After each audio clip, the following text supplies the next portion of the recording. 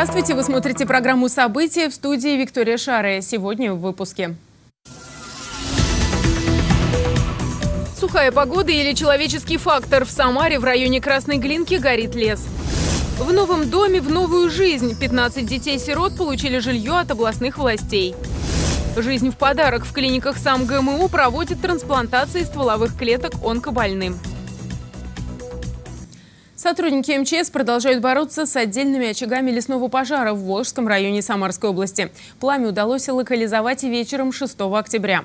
Горели леса недалеко от жилых кварталов поселка Красная Глинка. С места событий репортаж нашего корреспондента Анатолия Головко. К месту пожара вылетел вертолет МЧС России из Оренбурга. С помощью авиации сотрудники ведомства проведут разведку и будут тушить отдельные очаги возгорания с воздуха. Сообщение о пожаре поступило на пульт оперативного дежурного 6 октября примерно в 14.29. Сотрудники подразделений, которые прибыли на место, установили, что в 37-м квартале Самарского участкового лесничества горит валежник и порубочные остатки на площади в 0,18 гектар. Площадь, которую охватил огонь на тот момент, составляла 9,5 гектаров. Тушение пожара затрудняло то, что его очаги располагались в труднодоступных местах, поэтому пожарным приходилось использовать ранцевые огнетушители. На данный момент происходит отдельное очаговое горение, происходит проливка, протушивание отдельных очагов. На месте вызова работает группировка сил и средств в количестве 260 человек личного состава и 60 единиц техники. Работы по тушению огня организованы в тесном взаимодействии всех оперативных служб с администрацией Самары и Красноглинского района. По поручению первого заместителя главы города Владимира Василенко к месту происшествия направили всю необходимую технику и сотрудников муниципальных предприятий, а также работников ресурсоснабжающих компаний. Городом приняты всевозможные меры для тушения данного возгорания. На сегодняшний день и момент сюда уже пригнано дополнительно 6 болеров. Вот, э, два от СКС э, три от МП благоустройства, один с Волжского района прибыл. Также э, здесь будет в двух местах организовано добровольное питание пожарных. Общими усилиями удалось избежать распространения огня на жилые строения. Сейчас такая угроза отсутствует. Жертв и пострадавших нет. Предварительная причина пожара – неосторожное обращение с огнем. Мы будем следить за развитием событий. Анатолий Головко, Сергей Баскин. События.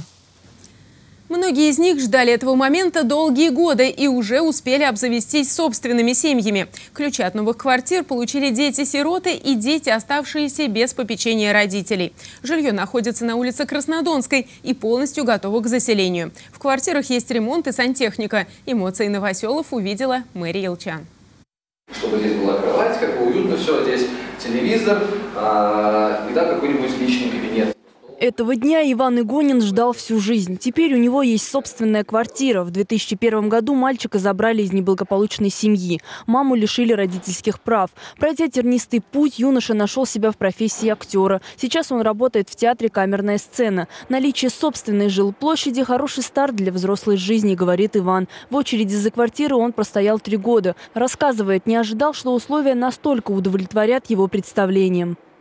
Когда я пришел сюда, ну, я не ожидал, что такой ремонт будет, здесь все что ухожено, ламинат, я думал, там линолеум будет, ну, то есть, ну, не так все хорошо, вот, а потом я, как бы, ну, удивился, что и ремонт э, очень приятный, вот, как бы особо делать мне ничего не надо, вот, а по квадратуре 42 квадратных метра. Счастливыми обладателями квартир на Краснодонской стали 15 ребят. Многие из них уже сами родители, поэтому своя крыша над головой просто необходима. Несомненно, это большой праздник для вас, но и для нас тоже. Поверьте, что стоит очень большого труда для того, чтобы решать эти проблемы, а, реализовывать те законы, которые есть, потому что система очень сложная, непростая, но в то же время мы очень серьезно заинтересованы в том, чтобы вы были обеспечены жильем. На церемонии вручения ключей присутствовала и глава города Елена Лапушкина. Ребят, дорогие, безусловно, иметь собственный кров, собственный дом, крышу над головой – это очень и очень важно. Я вас с этим событием от души поздравляю. Я хочу, чтобы в этом доме, в этой квартире всегда с вами были ваши родные и близкие, чтобы вы собирались за большим столом, чтобы вы могли мечтать, планировать и быть счастливыми. Всего до конца года собственное жилье в Самаре появится у 185 детей-сирот и детей, оставшихся без попечения родителей. Новоселы, получившие заветные ключи, уже могут заезжать с квартиры. Помещение полностью готовы. Там сделан косметический ремонт, установлена сантехника и электрические плиты. Мария Елчан, Николай Епифанов. События. Научат петь, рисовать и играть на музыкальных инструментах. В микрорайоне Крутые Ключи начала работу новая детская школа искусств. Возможности современного учреждения оценил губернатор Дмитрий Азаров. На открытии побывала Мэри Елчан. Новая школа – новые возможности. Девятилетнюю Машу Сташенкову вдохновил на занятия фольклором дедушка. Он играет на баяне. Девочка уже три года занимается пением. Раньше родителям приходилось возить ребенка на занятия на мехзавод. Теперь развивать талант можно будет рядом с домом, говорит мама Маши Ирина Сташенкова. Очень много приятных эмоций, потому что здесь и помещение очень большое, очень э, красивое, здесь оформлена очень приятная цветовая гамма и вообще как-то ну, очень приятное впечатление. Новая детская школа искусств, первая построенная в Самаре за последние 30 лет. Здесь уже набрали 150 учащихся по таким специальностям, как изобразительное искусство, фортепиано, скрипка, народные духовые инструменты, а также академический и эстрадный вокал. Я думаю, что будущее у этой школы большое, потому что основывается она на тех традициях, которые были заложены в детской школе искусств более 60 лет тому назад. И в то же время ей открываются новые перспективы. Возможности новой современной школы оценил губернатор Дмитрий Азаров. Он осмотрел все классы образовательного учреждения. Мне кажется, получилось. Конечно, есть еще что доснастить, и мы это обязательно это сделаем. Э, есть, наверное, как еще украсить, но, как вы знаете, как и любой дом, так и школа, которая для многих детей станет вторым домом, обживается не сразу. Общая площадь нового образовательного учреждения более тысячи квадратных метров. Здесь будут обучаться 350 детей. Также в планах создать свои детские оркестры народных и духовых инструментов. На церемонии открытия Дмитрий Азаров вручил сертификат для приобретения дополнительного оборудования. Все это благодаря нацпроекту «Культура», который активно реализуется в Самарской области. Мэр Елчан, Николай Епифанов. События. В Самаре начала работу горячая линия по вопросам отопления. Сколько еще домов в городе остаются без тепла и когда в оставшихся квартирах прогреются батареи, обсудили на еженедельном совещании в городской администрации. Лариса Шалафаст узнала подробности. К наступлению холодов готовы. Для зимнего содержания дорог в Самаре подготовлены порядка 200 машин. Также город заключил контракты с подрядными организациями для привлечения дополнительной техники. Запасаются и противогололедными средствами. На весь зимний сезон понадобится порядка 18 тысяч тонн бионорда и 9 тысяч тонн песка и соли. Пока в запасе имеется только часть необходимого объема. Точно, что сейчас этого недостаточно, и точно нужно понимать, какое количество соли мы должны заготовить, а это порядка, наверное, 700-800 килограмм, да, тысяч, э, я имею в виду, либо и песок. Если мы 10% берем, то 1000 тонн, так? А по факту мы в любом случае делаем, наверное, процент соли в песке больше, поэтому и другая должна быть картина. Для вывоза снега готовят пять площадок. Особое внимание в зимний период своевременной очистки кровель. Бригады для этой работы сформированы. Сформировано 423 бригады, в том числе 120, 178 бригад для зданий социальной сферы. На еженедельном совещании обсудили и подключение отопления. По информации Департамента городского хозяйства и экологии, батареи прогрелись практически в 100% домов. Остаются без тепла порядка 200 зданий. Их должны подключить в ближайшие сутки. Для э, организации работ э, по устранению технологических нарушений, которые возникают при пуске тепла, Организованы дополнительные силы э, непосредственно администрации города, 66 э, бригад, 110 э, единиц техники. В том числе по ПТС 30 бригад, 90 единиц техники. В Самаре уже начала работу круглосуточная горячая линия по вопросам отопления, куда могут обращаться жители. Телефоны вы видите на экране. Более подробную информацию и номера телефонов можно найти на сайте городской администрации. Лариса Шлафаст, Николай Сидоров. События. Жизнь в подарок. В клиниках Самарского медицинского университета начали проводить трансплантации стволовых клеток онкобольным. Это реальный шанс на ремиссию. За помощью могут обращаться люди со всей страны. На одной из операций побывала Мария Левина. На кадрах здоровые стволовые клетки. Вместе с кровью их забирают у онкобольного в момент ремиссии. После высокодозной химиотерапии, которая убивает все зараженные клетки, пациенту пересаживают здоровые. Этот процесс схож с обычным переливанием крови. Ну, когда тебя не касается, это об этом не задумываешься, не интересуешься. Только вот пока здесь вот я находилась, вот слышала там, кто-то в Москве делал эту операцию такую, разговаривала с людьми. Ну, у всех вроде бы хороший, положительный такой результат. Чтобы сделать такую операцию, например, в столице, нужно время. А оно у онкобольного весьма ограничено. Возможность пройти процедуру трансплантации в своем регионе для многих – реальное спасение. Тем более, что по квалификации специалисты ничуть не уступают. Они регулярно стажируются как в России, так и за рубежом. Клиники Самарского медицинского университета – федеральное учреждение. Операции здесь проводят не только для жителей региона. За помощью сюда едут со всей страны. По статистике данная процедура она позволяет в два раза увеличить прогноз, лучший прогноз пациента. Есть э, все возможности. Мы подали заявку в федеральный Минздрав. Федеральный Минздрав нам такие возможности предоставил, выделен 20 квот. И это новая технология, внедренная э, в регионе, в наших клиниках по вот этой тяжелой патологии. Восемь пациентов уже получили необходимую помощь. До конца года должны сделать еще 12 операций. В следующем году врачи планируют запросить дополнительные квоты.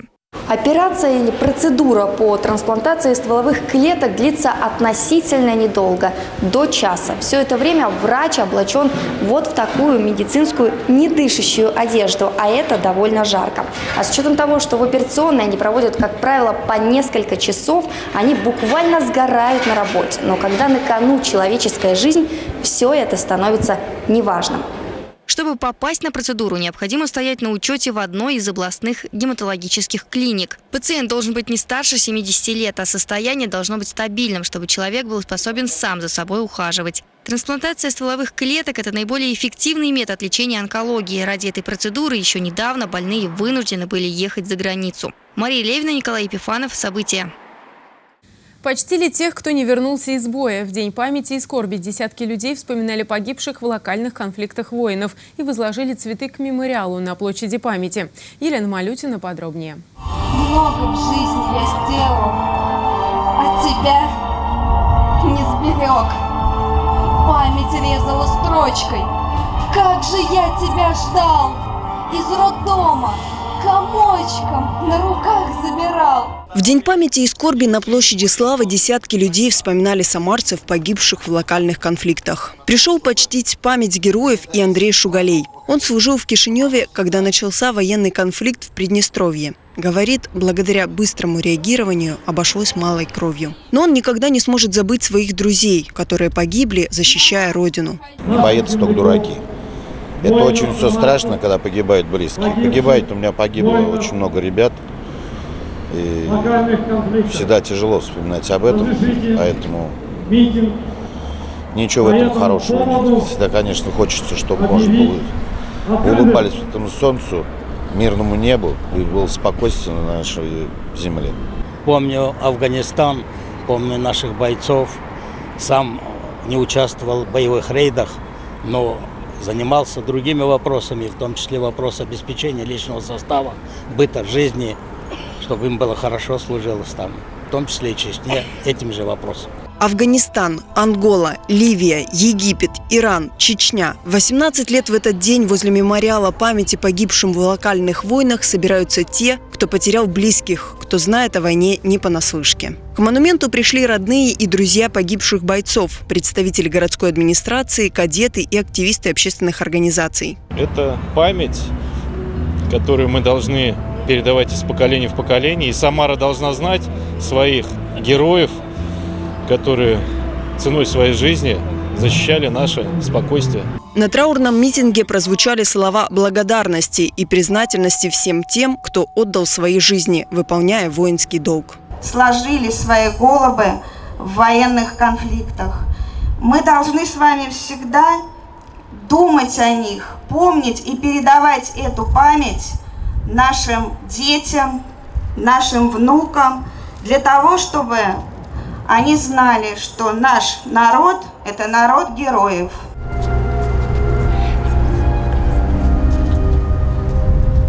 Елена Малютина, Григорий Плешаков. События. Полку прибыло курсанты Самарского кадетского корпуса в присутствии представителей военных подразделений, родственников и друзей присягнули на верность Родине. В учебном заведении созданы все условия для того, чтобы кадеты получили не только качественное образование, но и всестороннее развитие. Клятвы на плацу выслушала Елена Малютина. Достойно учиться и жить, а также верно отчизне служить. Такое обещание во время присяги дали кадеты. В отличие от многих других учебных заведений подобного рода, Самарский кадетский корпус входит в структуру МВД России. Ребята, учащиеся здесь, не просто школьники, а переменный состав органов внутренних дел. Поэтому патриотическому воспитанию здесь уделяют особое внимание. Для меня она очень важна, потому что э, я перешел во взрослую сторону, стал настоящим кадетом. Мне, э, у меня будет образование, я буду зависеть от самого себя, буду достигать своих целей. Чтобы они через 12 лет вернулись ко мне. Понятное дело, что я уже на пенсии буду, но будет другой руководитель. И чтобы они, естественно, остались здесь в Самаре. Пополнили для полицейских, следователей, дознавателей, дежурных, оперативников. В Самарском кадетском корпусе созданы все условия для разностороннего развития личности. Кроме общеобразовательной программы, ребята посещают хор, хореографические кружки, занятия по обучению игре на гитаре, секции бокса, дзюдо, самбо, рукопашного боя, легкой атлетики, силовой подготовки, футбола и волейбола. Каждый кадет проходит строгий отбор. Количество желающих обучаться в кадетском корпусе продолжает расти. Чтобы всех разместить, в этом году сдадут в эксплуатацию новое здание общежития. Оно рассчитано на 300 мест. Сейчас там завершаются отделочные работы. Строили мы наше учебное заведение, что называется, на марше. А, губернатор области принял решение к пятилетию кадетского корпуса, пообещал строительство на его территории спортивного комплекса.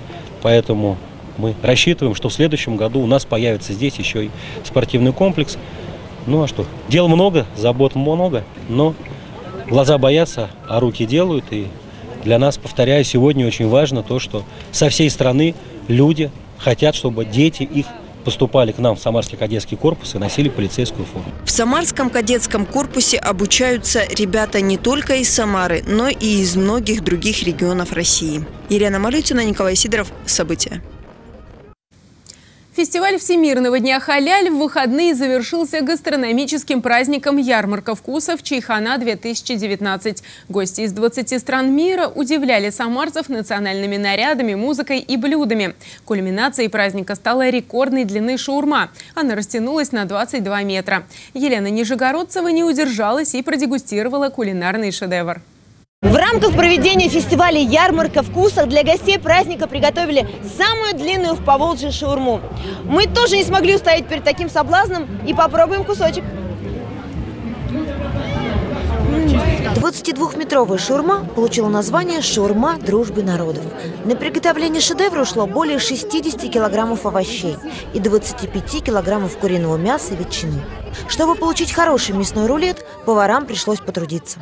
Мы приготовили э, шаурму всеми любимыми. Это блюдо э, любят не только татары, чуваши, русские. Это уже блюдо распространенное, популярное.